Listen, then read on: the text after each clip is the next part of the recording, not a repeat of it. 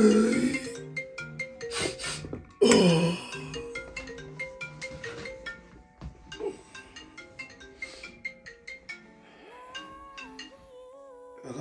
Hi, I'm really sorry to call you so early. Is this a, a good time? I'm not gonna lie, yeah. I have to be up in like two hours. I've got work in that, so. Yeah, it's not really a good time, man. What's up? You dumped me two days. Hey, how you doing? Yo, what's going on?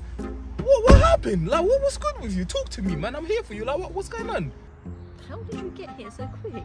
What do you mean? I don't understand. I thought you were What? asleep. Asleep? Me?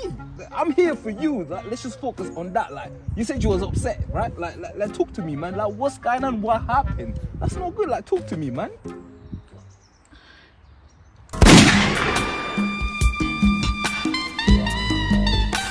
I won't hurt you.